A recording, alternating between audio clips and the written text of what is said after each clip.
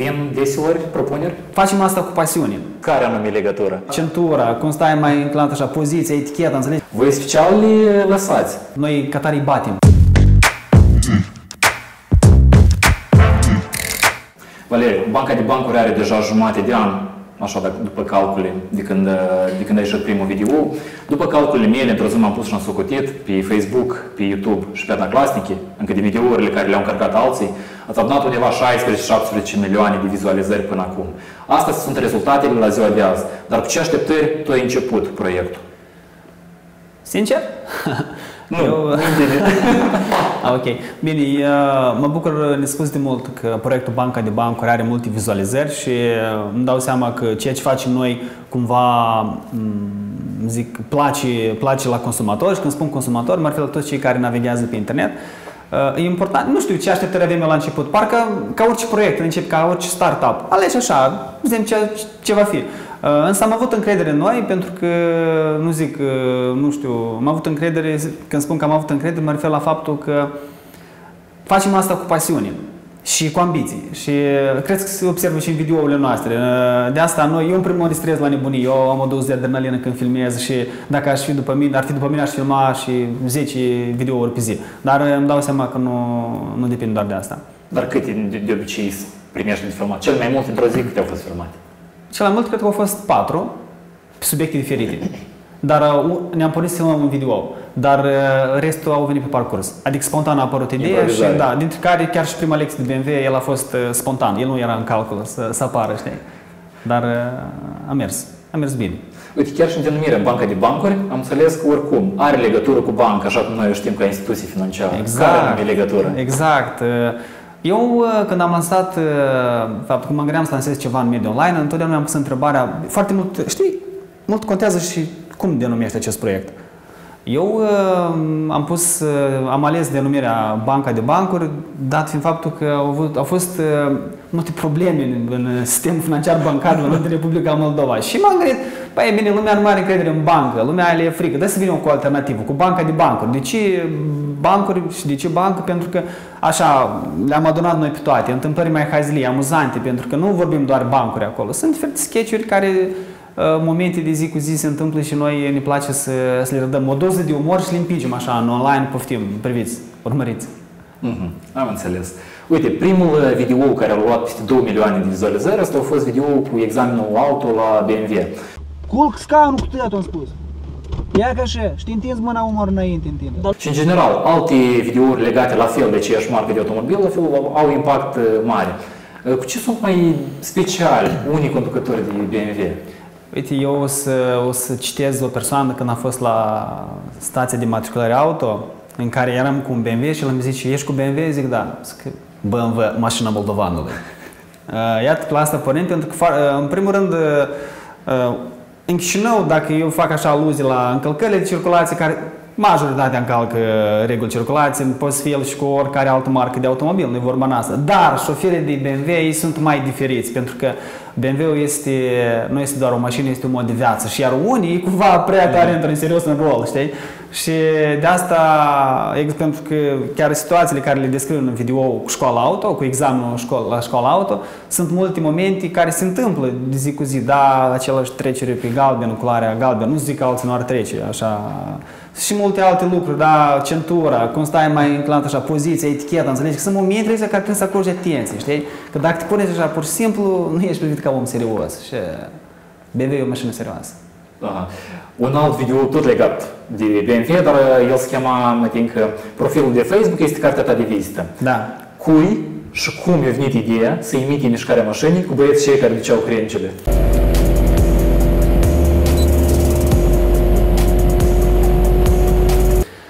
Noi, eu văzusem ceva asemănător, nu știu, erau un video într-o calitate foarte proastă, filmat cu telefonul ceva vreme în urmă, cum erau niște băieți la un șantier de construcții și își dea, era unul pe un scaun, nu știu cum, și vreo doi mergeau cu copaci în jurul lui. Și ei imitau o motocicletă.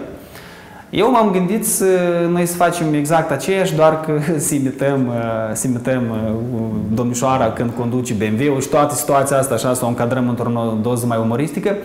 Uh, ideea, dacă s-a observat în acel video, sunt trei persoane.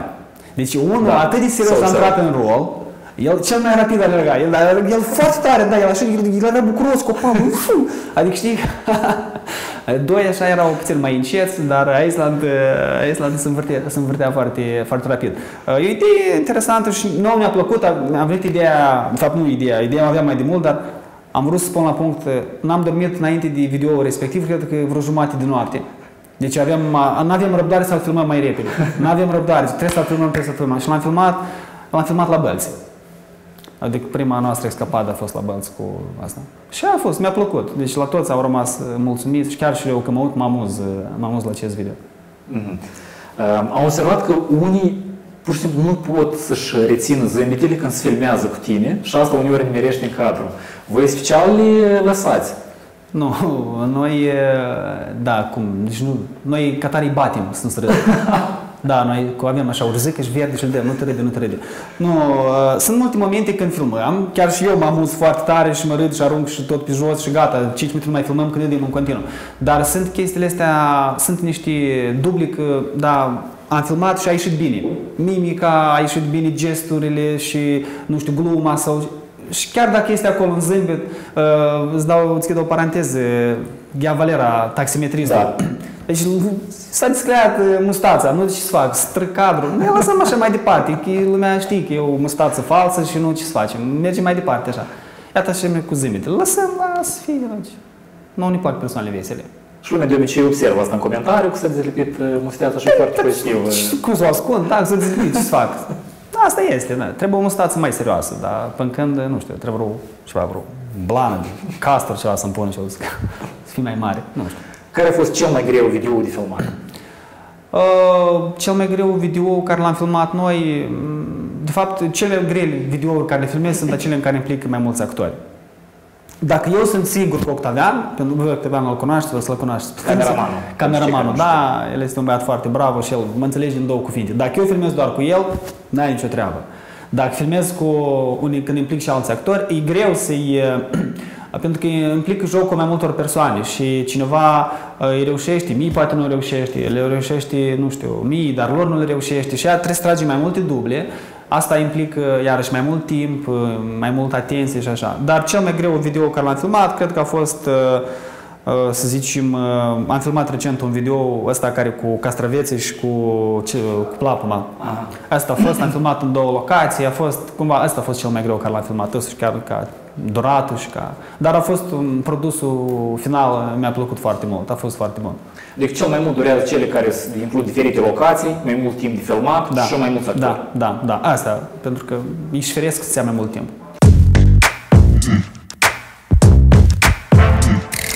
Valeriu, ce părere ai personală despre sunetele acestea de râste, de seriale, de după cadru? Știi, când merge un ban, ceva, o glumă, o fază comică și se aude sunetul acesta de... Urmează, urmează, da, acest da. Sunet, urmează aceste sunete să se audă și în banca de bancă, da. pentru că noi de multe ori când filmăm, noi ne râdem, dar le scoatem de fundal. Dar Octavian care filmează băiatul operator, el se râde foarte caragios și am decis, am decis să includem râste de, în care în filmele produse la Hollywood sau oriunde în altă parte, filme de comedie în general, sunt sunt binevenite, pentru că te instigă la, la mai mult zâmbet. Ca să râzi, da? da, da. Și dacă nu, sunt într-un fel, parcă creează singurul, singur trebuie să-ți dai seama că trebuie să râzi, da? Într-un fel, cam așa. Mulți, mulți chiar când aud și râste, tot nu-și dau seama că trebuie să râdă.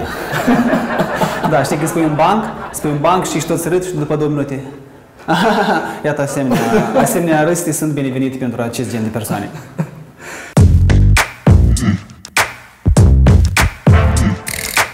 Cea mai neordinară întâmplare care s-a întâmplat la filmare? Păi, cea mai neordinară întâmplare cred că a fost atunci când uh, am filmat uh, Piața Centrală cu castravetele în buzunar și cu șosetele albe, da, cu ciorapii și cu asta, mergeam pe acolo și cu boxa aia, da, calonca, cu Valera cu calonca. Da. Uh, mulți știi că spuneau, spuneau Octavian, Valeriu, dar tu aici te observi, tu te integrezi foarte bine, știi? dar erau și unii care mă priveau foarte straniu, da? Straniu, știi, de genul că debil, știi? Adică, atât așa, să mă uitam mai ei în ochi și îi priveam, știi? Cu, uh, uh, uh. Dar nu ne-a făcut treaba foarte bine și nu. Asta a fost o situație pentru că deja am intrat în rol, n-am nicio stres. Eu nu, că nu mă stresez de ce gândesc restul, pentru că asta te consumă și eu nu vreau să mă consum. Dar o altă situație când am filmat cu odorizante, da, cu mm-hmm. care pentru o mașină, chiar Valera așa, îmblă și pe oraș, dacă trebuie, nu, Și am intrat într-o benzinărie și au, toți au izbucnit în râs, că m-au văzut, știi, adică nu, cam nu prea se încadra și mulți mă recunosc deja, dar uh, nu se așteptau să mă vadă în așa, în așa, nu știu, stil. Mm. Și cam așa. Singur ai pornit, mulți te recunosc. În general, multă lume te recunoaște pe drum, uh, care au fost, practic, uh, locurile cele mai neobișnuite în care lumea s-a apropiat și, a, eu te știu. Des se întâmplă asta? Bine, nu foarte mult timp trec uh, când sunt cu echipa de filmare, dar uh, spre un oraș pre- prezent, dar uh, așa, în timpul liber nu prea mult timp, uh, zic, mă plimbă prin oraș sau îl trec. Și uh, mi-a plăcut foarte mult că oamenii te recunosc și se apropie, da, îți strâng mâna, vorbesc, da, bravo, continuă ceea ce faci, că o faci bine. Sunt unii că, nu știu, mă strigau, e, BMW, BMW, Carol BMW sau uh, în diferite situații, Valera, Ghea Valera. Într-o zi m-am speriat, eram în mașină și chiar m-a claxonat unul foarte tare și crezut că am sar la bătaie. O, Ghea Valera, știi? Ha. Bun, dar era un zdrav în tare, știi? Că mă gândeam că am calcat calea cumva. Mi-a plăcut foarte mult, am fost în, am fost în Iași recent și mi-a plăcut că m-au recunoscut oamenii, adică n-au recunoscut Valera, dar banca de bancuri, Da. da. salut banca de bancuri și e un sentiment într-adevăr puternic care îți dă și mai mult uh, forță pentru, pentru creație. Fain, super. Da? Dar cine de umor pe tine te-a inspirat? Până când tu ai ajuns să te ocupi cu umorul, cine te-a inspirat? Cine de umoriști, poate români, moldoveni? Eu, uh, primul sketch al meu care a fost, uh, și îl țin minte, a fost, cred eu, clasa 3, nu mai țin minte, în clasa 3 sau 4. Uh, Era vorba de cuscrele.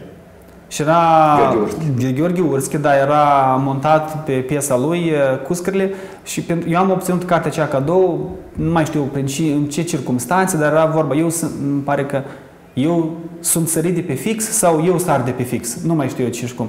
A fost prima mea carte care am citit-o eu și pe la urmă am crescut noi cu sketch-urile lui Gheorghe Urschi, regretatul Pavel Bechet și mă, în general am urmăream de mic, era o emisiune la, difuzată pe postul național de televiziune, Hanul Moftangiilor, cu diferite chestii, sketch-uri și mi-a plăcut foarte mult. Deci ei mi-au, nu cred că poate m-au inspirat, dar ei au fost primul meu contact cu, cu lumea umoristică, să zic așa. Mai încă mai recent, foarte mult, uh, am, urmă, am urmărit deja, evident, uh, uh, mari comedianți din Statele Unite, pentru că sunt foarte bun la, foarte bun la asta. Avem foarte buni comedianți și uh, la noi în țară, evident, iarăși vorbim de Rusia sau de România și, în general, multă lume bună pe care, la care ai ce învăța.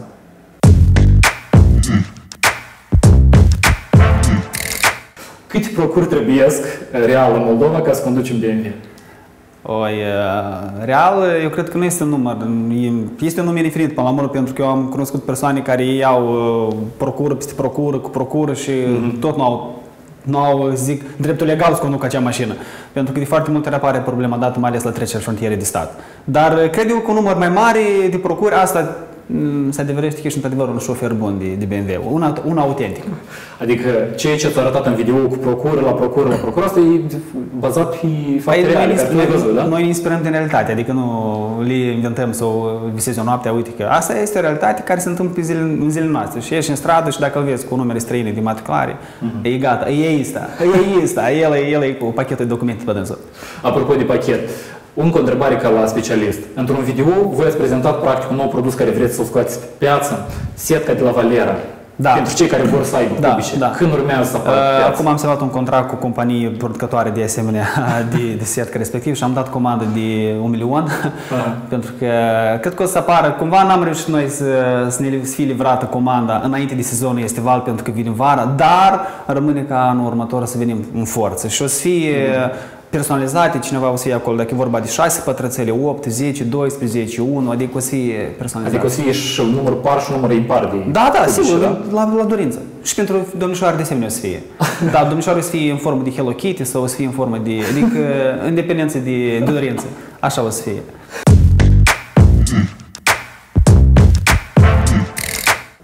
Într-un interviu pentru Diez ai zis prin fi- filmulețele mele nu încurajez sau judec un, compor- un comportament anume, fiecare de- decide dacă respectă sau nu eticheta. Tu ești de acord că la noi uneori singurul lucru pe care îl putem face este cazul de necaz, ca persoanele vizate cel puțin să-și dea seama că ele procedează greșit și să-și schimbe ceva în comportamentul lor. Păi, uh, întotdeauna când, dacă mergi și îi spui unei persoane în față, direct îi zici că uite, tu nu faci asta corect și dă să te învăț eu cum trebuie să o faci, cumva poți să-l jignești, da, atingi orgolul lui, ego lui interior. Uh, eu prin filmulețele mele am încercat, bine, să prezint o situație sau situații unice, bine, nu unice, dar situații concrete din zi, viața de zi cu zi și dacă cineva se regăsește în trânsele, în aceste situații și dacă cumva mm, zice că, băi, stai că asta e despre mine, atunci mă bucur și dacă el conștientizează faptul că ceea ce face el nu e bine, ok, dar eu niciodată nu o să judic pe cineva sau să încerc eu să, să educ societatea, că asta e ne, ne, ne, asta e bine sau asta e bine. Fiecare cu cei șapte ani de lui de acasă, dar uh, dacă cumva videourile mele ajută la îmbunătățirea lucrurilor, mă bucur. Un alt video care ajută, cred, la îmbunătățirea lucrurilor este cel uh, scos recent în perioada bacalaureatului, Uh, cum se spune când voi, când tu pur și simplu întrebi trecătorii uh, din uh, Valea Mărilor, întrebi cum se spune corect la obiectele care erau șlapți, da? Da, șlap, șlap și sticlă de plastic. Sticlă, sticlă da. de plastic. În general, plănuiți scot, scoteți mai multe asemenea videouri sau a fost doar ceva de moment legat de perioada asta de bacalaureat? Nu, ă, acest, ă, așa l-am numit eu, proiectul Dicționarul, el o să fie, o să fie un proiect, sper de, de durată, în care o să venim cu diferite obiecte, diferite cuvinte, care noi le folosim zi de zi, doar că nu le uh, numim corect sau nu, nu, nu ne exprimăm da. corect utilizând acele cuvinte. Eu recunosc că eu fac foarte multe greșeli când vorbesc, asta niciodată nu am ascuns-o. Eu prin astfel de videouri uh, încerc să mă autodepășesc și să mă autocorectez, astfel să vorbesc cât mai corect și să am o dicție cât mai, uh, cât mai bună. O întrebare despre integrările publicitare. Părerea mea personală uh, ține de faptul că un conținut poate fi comercial, o colaborare, nu atât de mult contează dacă el este plătit sau nu, atâta timp cât omul zâmbește. Care e la voi situația până la momentul de față cu integrările publicitare și care sunt planurile în general legate de monetizarea proiectului? Bine, că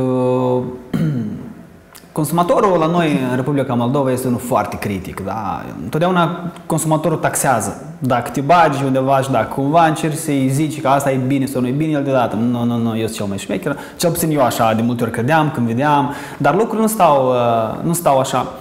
Eu uh, sunt de părere că chiar facem foarte multe videouri, filmăm într-un local anume sau filmăm, nu știu, la o terasă sau avem nevoie de anumite mașini. Evident că astea te ajută să faci sketch-uri și te ajută să dezvolți proiectul, pentru că nu poți să faci un video doar într-un garaj undeva cu lumina stinsă și să vorbești, nu știu despre ce să vorbești. De asta, pentru a fi, cum ai spus tu, ai spus corect, dacă aduce zâmbetul pe buzi, chiar până la urmă nu contează, e monetizat proiectul sau nu e monetizat, dar lumea trebuie să înțeleagă un lucru că orice proiect implică nu doar uh, resurse și pasiuni, dar implică și timp și o sumedenie de lucruri care luate la un loc uh, consumă.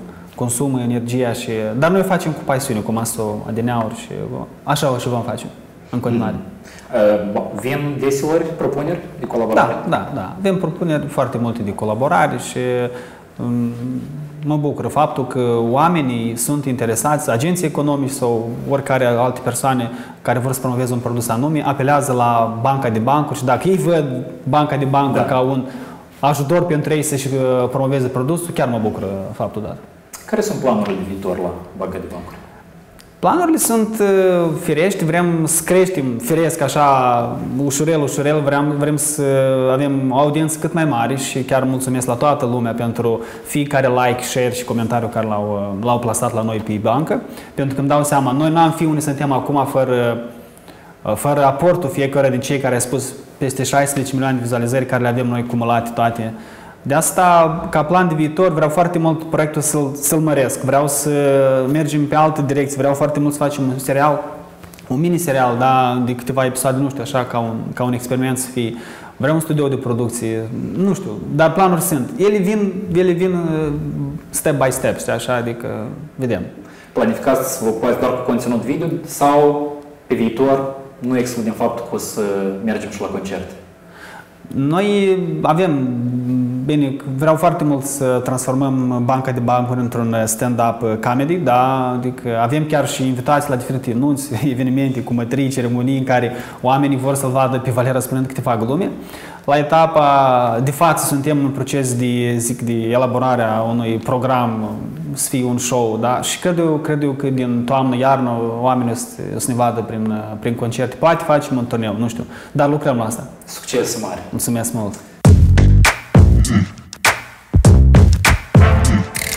Uh, Cum, întrebare iarăși ca la specialist, pentru că Da. deja ai dat răspuns parțial la întrebarea asta, cum să devii milionar în Moldova? Cum să faci primul milion? Milionar e, depinde din ce. Dar nu este nimic complicat să devii milionar. Eu v-am arătat acolo un, uh, un mijloc prin care poți deveni milionar. Important să fii șmecher la momentul potrivit și Aha. să fii ambițios. Dar eu cred că e posibil. Mhm. Care domeniu ar fi unul care poți să faci primul milion în Moldova? Pentru un tânăr, să zicem, de 20-25 de ani. E clar, uh, mulți ar spune politica, dar uh, eu cred că sunt și alte domenii să, fii, să devii milionar, cum am spus. Devii milionar depinde din ce. Uh, Eu, scopul meu este să devii milionar în prieteni, în primul rând, că după asta apar și banii. Dar uh, în Republica Moldova, realitatea arată că cam se, con, se contrazic multe lucruri, da? Poți să faci bani din, din ceva ce nu credeai că este posibil și invers. Poți să faci bani din ceva ce mai știu eu. Dar uh, vedem, vedem. Când fac primul milion, uite, vin la tine și ți explic exact cum l-am făcut. Până, până îl fac, rămâne să văd și eu cum îl fac. Valeriu, eu am să arăt un video, vreau să văd uh, reacția ta. Eu am dat din video mai 3 ani, 3 ani de la fondarea banc, băncii de bancuri, adică înainte cu 3 ani, în care tu practic prima dată apare într-un uh, video și vreau să văd uh, Da. cum comentezi cu situația asta.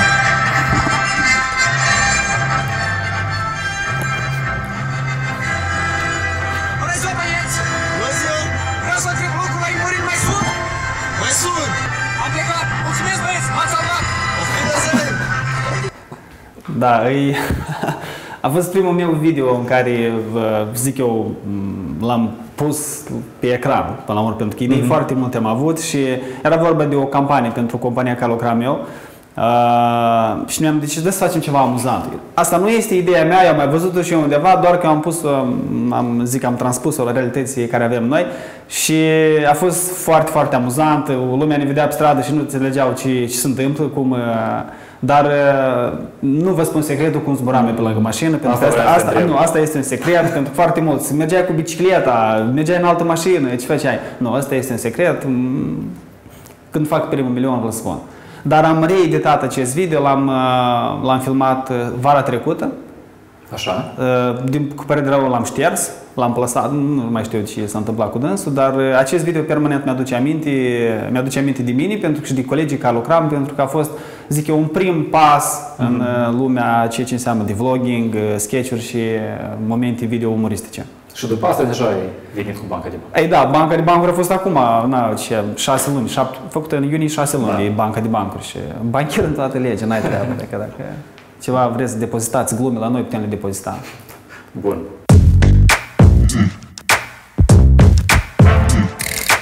Blitz. Uh, întrebări scurte, cu răspunsuri scurte. Dacă este nevoie de explicat ceva, Hai să vedem, hai să vedem.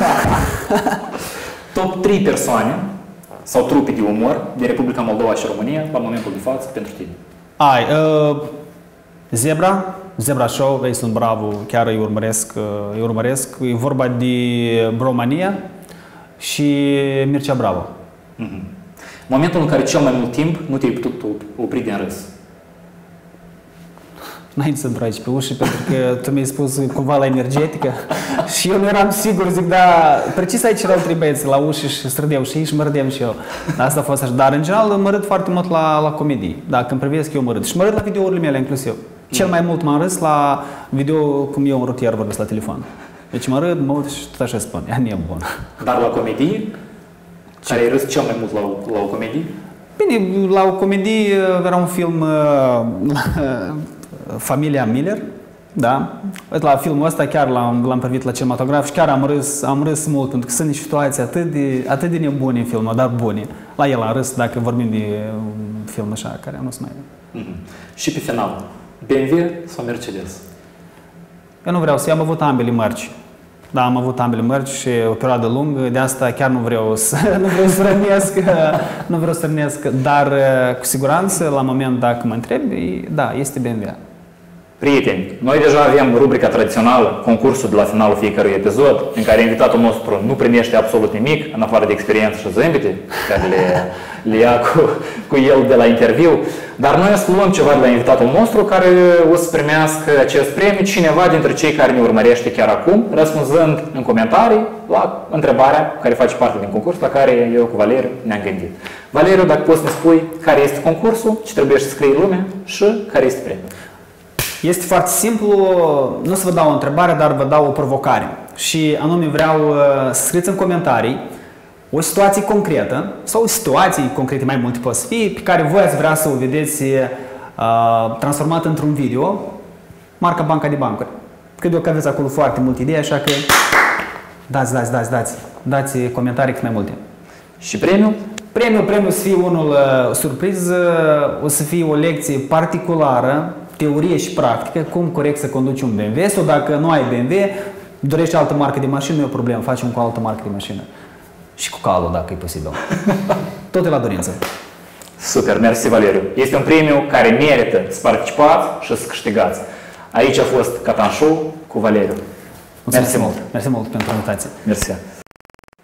După cum am promis, anunțăm uh, acum câștigătorii pentru celelalte două concursuri. Uh, În primul rând, cartea Secretele Succesului, oferită pentru, pentru voi de către Ion Bargan, o câștigă acest comentariu pe care îl vedeți chiar aici jos. Alina Dandara. Am o carte care nu vi s-a potrivit deloc și cred că ați vrea să o citiți vreodată. Nu o să vă placă, vă asigur, dar după asta o să-mi mulțumiți. Cartea merge la tine, Alina, și premii din partea lui Ruslan Cojocaru, care a oferit niște premii din partea Tucanu, cafea naturală, un termos și un curs de baristică exclusiv la Tucanu Coffee. Cel care câștigă este un comentariu foarte lung, eu o să vă las la fel aici jos, ca să aveți timp să-l vedeți. Uh, Premiul merge la Rodica Cernen, Cernenchi. Mă ierți, Rodica, dacă am uh, rostit cumva greșit uh, numele. Cei care au câștigat, rog să-mi trimită câte un mesaj sau pe pagina de Facebook sau aici în comentarii pe YouTube ca să-i găsim și să o primească premiile.